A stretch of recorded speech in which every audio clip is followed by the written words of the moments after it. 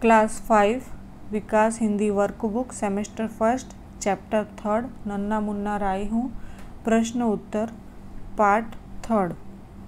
प्रवृत्तियाँ कोष्टक से सार्थक शब्द ढूंढकर घेरा कीजिए, उसे खाली जगह में लिखिए और उसका वाक्य में प्रयोग कीजिए कि आपको ये कोष्टक दे रखा है, उसके अंदर आपको घेरा करना है और शब्द ढूँढने हैं और उस शब्द का वाक्य में प्रयोग करना है, जैसे यहाँ पे लिखा है सहारा।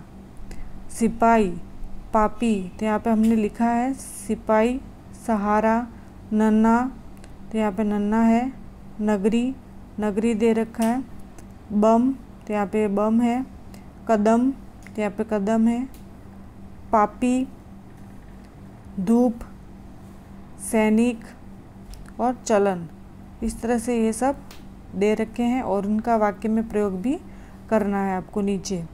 तो हमने पहला किया है सिपाही तो सिपाही देश की रक्षा करता है। दूसरा है सहारा तो मैं देश का सहारा बनूँगा। तीसरा है नन्हा तो मैं नन्हा बाल सैनिक हूँ। नगरी तो मेरी नगरी शांति प्रिय है।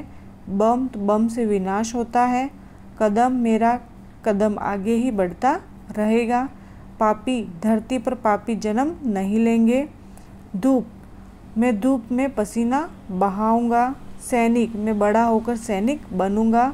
चलन, में सबको प्यार का चलन सिखाऊँगा। इस तरह से आपको वाक्य में प्रयोग करना है। आगे है, पुस्तकालय में जाकर सुभाष चंद्र बोस, ये थोड़ा मिस्टेक हो गया है। बोस के बारे में जानकारी प्राप्त करके यहाँ लिखिए। सुभाष चंद्र बोस के बारे में आपको जानकारी लिखनी है कि सुभाष चंद्र बोस को हम नेताजी के नाम से जानते हैं। सुभाष चंद्र बोस को हम क्या कहते थे? नेताजी के के पुकारते थे। सुभाष चंद्र बोस हमारी भारत माता के क्रांतिकारी सपूत थे। उनका जन्म कब हुआ था? तेईस जनवरी अट्ठारह को बंगाल में हुआ था। कहाँ हुआ था? बंगाल में हुआ था। उसके बाद वे बचपन से ही बड़े बुद्धिमान थे और 1913 में उन्होंने कोलकाता विश्वविद्यालय से बीए पास किया। बीए पास किया। फिर इंग्लैंड। इंग्लैंड जाकर उन्होंने आईसीएस की कठिन परीक्षा पास की और वे बड़े देश प्रेमी थे और वे हमारे देश प्रेमी थे। वे हमारे देश को आज़ाद देखना चाहते थे और 18 अगस्त 1945 को बैंकॉक से जापान जाते समय एक विमान दुर्घटना में उनकी मृत्यु हो गई।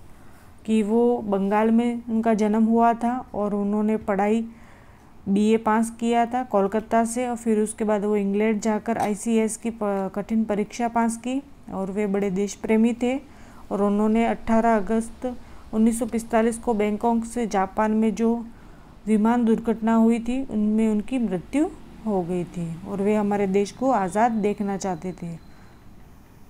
आगे है, आपकी पसंद का एक देशभक्ति गीत यहाँ लिखिए और ऐसे अन्य देशभक्ति गीतों का संग्रह कीजिए कि आपको जो भी देशभक्ति गीत पसंद है, वो आप यहाँ पे लिख सकते हैं।